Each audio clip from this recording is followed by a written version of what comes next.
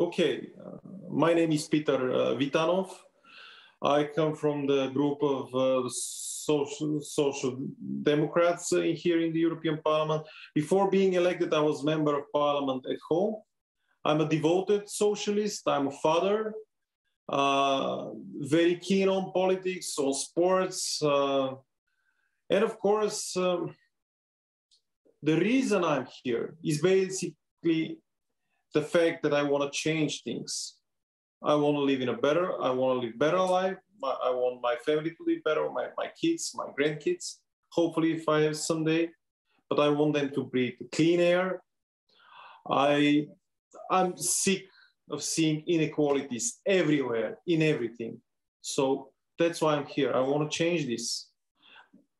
I want to live in a, in a better world.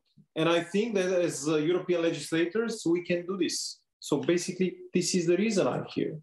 And I'm doing what I'm doing.